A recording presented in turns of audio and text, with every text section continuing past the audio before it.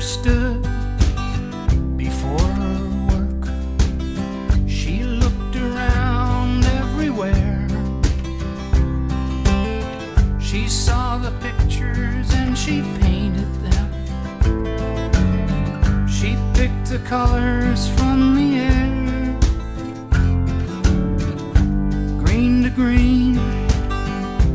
Red to red, yellow to yellow light. Black to black when the